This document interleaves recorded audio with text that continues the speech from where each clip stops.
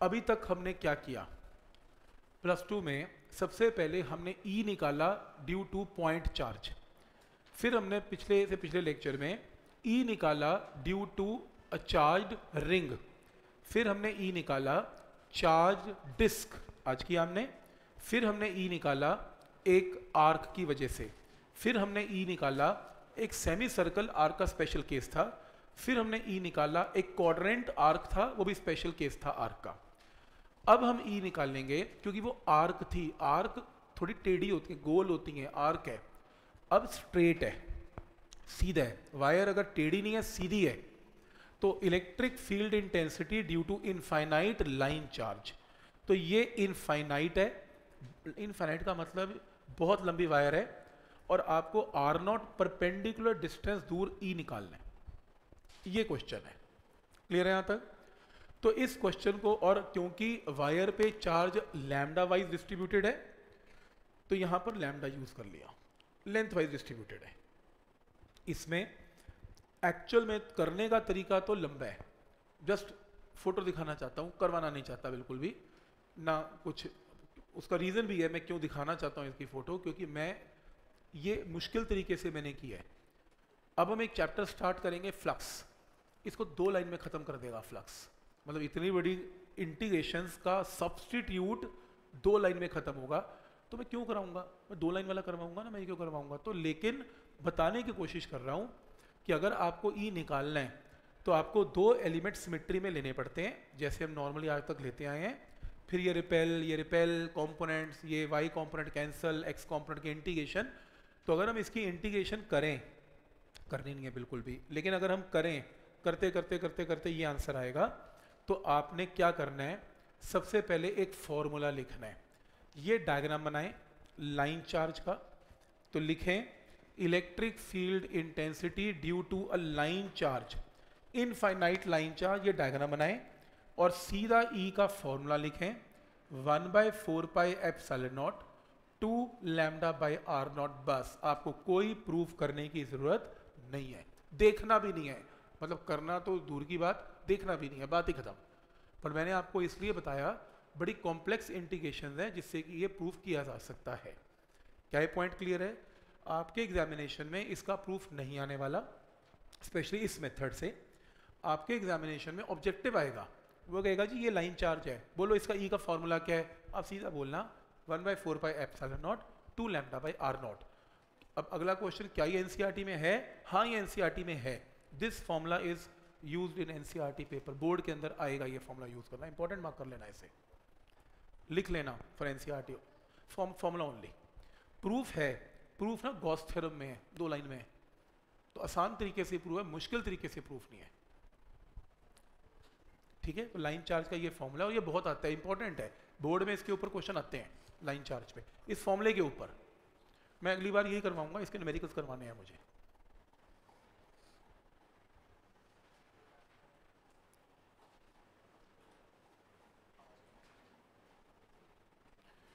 ठीक है, ये फॉर्मूला लिख लिया यहाँ तक। आगे, जब मैं इसकी इंटीग्रेशन कर रहा था ना, बड़ा इंपॉर्टेंट पॉइंट बता रहा हूँ, मैं ध्यान से देखना। जब मैं इसकी इंटीग्रेशन कर रहा था, इस फिगर को देखते हुए जो भी कर रहा था, इसके अंदर इंटीग्रेशन ना डी थीटा की फॉर्म में चल रही थी, बस ये देख लो और कुछ, आगे पीछे कुछ मत देखो, चाहिए ही नहीं है। डी थीटा की फॉर्म में चल रही थी। फिर मुझे एंगल की लिमिट्स लगानी थी। तो बेसिकली जब मैंने एंगल की लिमिट्स लगाई तो ऐसे लगाई कि अगर ये वायर इनफाइनाइट है तो यहाँ पे ये एंगल क्या बनेगा? इनफाइनाइट में फाइनाइट तो बनेगा इनफाइनाइट क्या होता है? यहाँ रुक थोड़ी ना गया, बहुत ऊपर है। तो इसका मतलब ये एंगल बहुत बड़ा होता जाएगा कुछ ऐसे, जैसे मैं यहाँ पर हाथ रख रहा हूँ। अगर ये फाइनाइट होता तो ये 60 डिग्री 80 डिग्री कुछ तो आता। अगर ये इनफाइनाइट है तो मेरा हाथ ऊपर ऊपर ऊपर जाता जाएगा, यानी कि एंगल ये वाला एक्स के साथ बढ़ता जाएगा बढ़ता जाएगा बढ़ता जाएगा। इन्फिनिटी में जाके एंगल क्या बनेगा? अप्रोचिंग टू 90 बहुत बहुत दूर बनेगा। अप्रोचिंग टू 90 तो इन्फिनिटी की लाइन जब आएगी तो ये ऊपर का एंगल 90 नीचे का एंगल भी 90 क्योंकि नीचे से भी इन्फिनिटी है, ऊपर से भी इन्फिनिटी है। तो क्या स्टेप क्लियर है?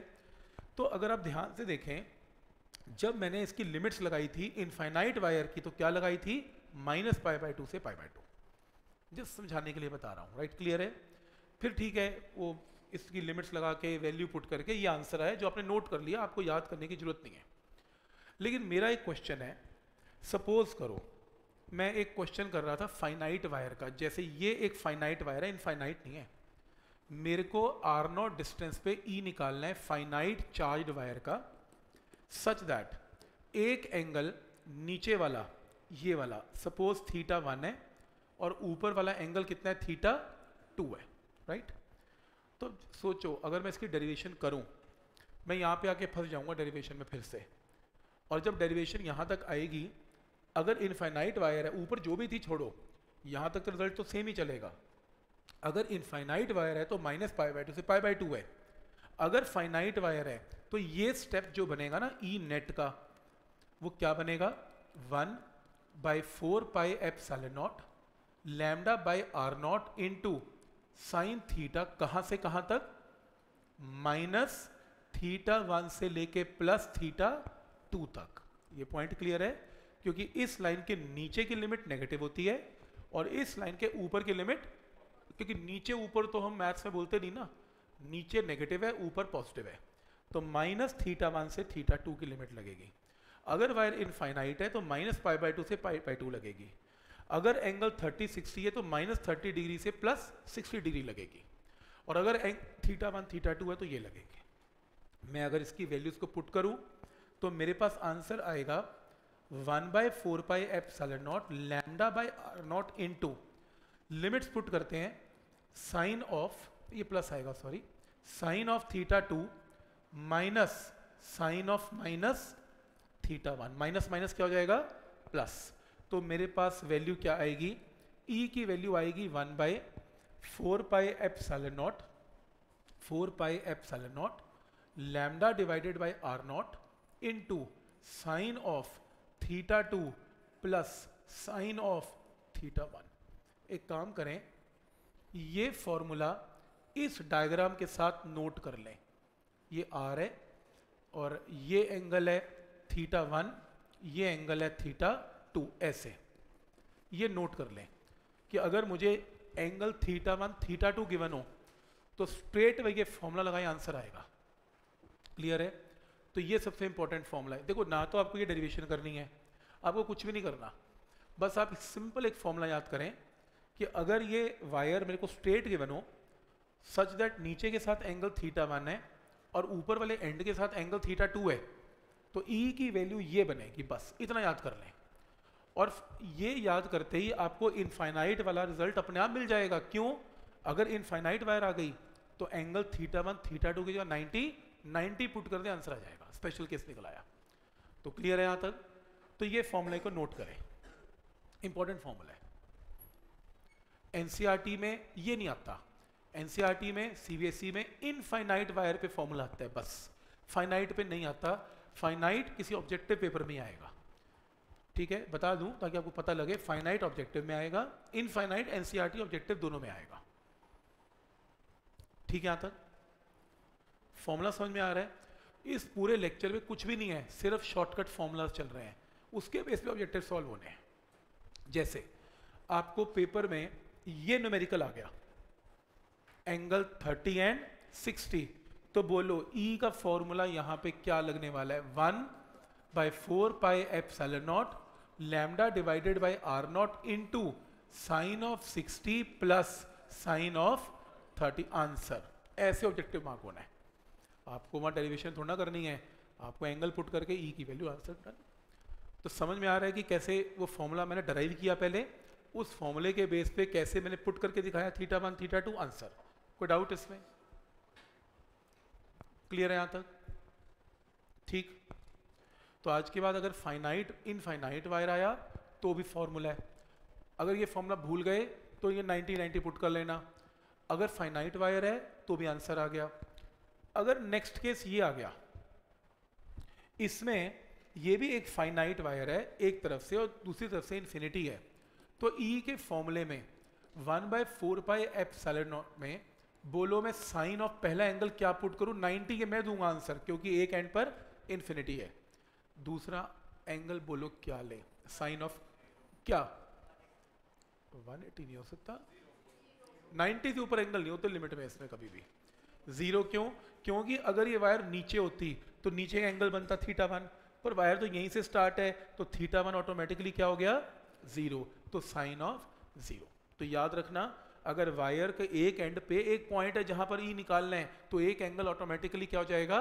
ज़ीरो तो स्टेप समझ में आ रहे हैं यहाँ तक? तो ऑब्जेक्टिव में जैसी जैसी फिगर आएगी, वैसे प्लॉट कर लेना। तो अगर इनफाइनाइट आई तो भी हो गया। फाइनाइट आई तो भी हो गया। अगर एंगल नीचे ऊपर बन रहा है तो भी हो गया। अगर नीचे नहीं बन रहा, ऊपर बन रहा है तो भी हो गया। और आखिरी केस जो आ सकता है, इसके अलावा कुछ नहीं आ सकता। ये रहा। वायर यहाँ से स्टार्ट है। इन्फिनिटी है। फाइनाइट है। पर पॉइंट ये है कि ई मुझे यहाँ नहीं निकालना, नीचे निकालना है ई ठीक? ई मुझे नीचे निकालना है। अब एक काम करना पड़ेगा। फिर से इस टॉपिक पे वापस चलते हैं। मेरा क्वेश्चन है कि ये एक वायर है, जिसके ऊपर चार्ज है, और मुझे ई e कहाँ पे निकालना है? मुझे ई e यहाँ निकालना है at a distance of R naught ये रहा। सपोज़ ये जो एंगल है सपोज़ करो, ये जो एंगल है, वो है थीटा वन और ये जो एंगल है यहाँ से, ये कितना है? थीटा टू ऐसे हुआ ना? क्योंकि इस लाइन के ऊपर वायर जो है ऊपर है तो दोनों एंगल की लिमिट पॉजिटिव ही रहेगी। क्यों? क्योंकि ये मेरी स्ट्रेट लाइन है आर नॉट वाली, और वायर ऊपर से स्टार्ट हो गया, ऊपर की एंगल की लिमिट सारी पॉजिटिव नीचे की लिमिट सारी नेगेटिव पर यहाँ तो दोनों पॉइंट्स ऊपर हैं। तो मैं क्या करूँगा इसमें? E की वैल्यू में यहाँ पे one upon four pi epsilon naught lambda by R naught में जब मैंने लिमिट पुट की थी अब मैं थीटा वन से थीटा टू करूँगा। जबकि पहले मैंने क्या पुट की थी? माइनस थीटा वन से थीटा टू। अब मैंने दोनों पॉजिटिव लेनी है क्योंकि दोनों जो वायर के एंड्स हैं वो मेरी लाइन के ऊपर है। तो जब मैं इसमें लिमिट पुट करूँगा one by four pi epsilon naught lambda by R naught into sine of theta two minus sine of theta one ये पुट करूँगा। तो आप ये फॉर्मूला नोट करें इस फिगर के साथ। ठीक, ये फॉर्मूला नोट करें, और इसकी जो फिगर है, वो ये नोट करें, मैं यहाँ ड्रॉ कर रहा हूँ फिगर ये एक वायर है, ये एक वायर है लैमडा मुझे ई e यहाँ पे निकालना है at a distance of R naught such that ये जो एंगल है, वो थीटा वन है, ये जो एंगल है, वो थीटा टू है। तो अगर क्वेश्चन ऐसा आता है तो कुछ नहीं करना, कोई इंटीग्रेशन नहीं, सीधा ये फॉर्मूला लगा के आंसर मार्क कर दे। अभी करते हैं सॉल्व मार्क कर लो।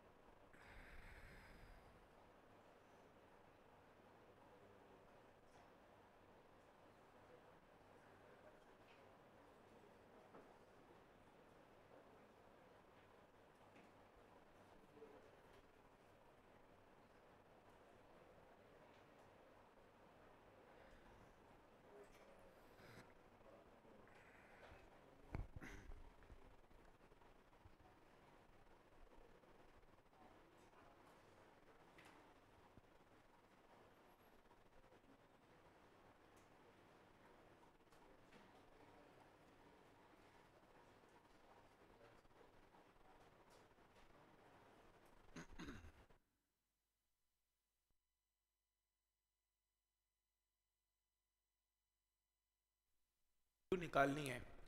दोनों एंगल्स ऊपर की तरफ़ है, एक 30 और एक क्या? 90 तो बोलो, क्या बनेगा फॉर्मूला फॉर्मूला बनेगा E one by four pi F naught पहला एंगल कितना? 90 दूसरा एंगल कितना? 30 प्री मॉड लगा देना। नेगेटिव की ज़रूरत नहीं है पॉजिटिव वैल्यू आएगी, जो भी आएगी। मेथड समझ में आ रहा है कि कैसे करना है इसे। ठीक? तो मतलब आप वैरायटी देख रहे हो कि पहले हमने ई e निकाला पॉइंट चार्ज फिर निकाली रिंग फिर निकाली डिस्क फिर क्या निकाला? आर्क आर्क में भी कोई सेमी सर्कल कोई क्वाड्रेंट वो निकला। फिर निकला इनफाइनाइट लाइन चार्ज फिर इनफाइनाइट की जगह फाइनाइट फाइनाइट में भी दो एंगल ऊपर नीचे हैं, दोनों एंगल ऊपर ऊपर हैं, दोनों एंगल नीचे नीचे है तो दोनों लिमिट नेगेटिव हो जाएगी। तो इस तरीके से आप लाइन चार्जेस को भी सॉल्व कर सकते हैं। तो क्या ये पॉइंट क्लियर है? जो लाइन चार्ज के एग्जाम्पल्स ये मैंने दिए, ये किसी ऑब्जेक्टिव कॉम्पिटिशन में आ सकते हैं। ये एन में नहीं आते। तो please note for N C जो भी फॉर्मूला लिखवाए हैं एन के स्कूल लेवल पेपर में नहीं आते।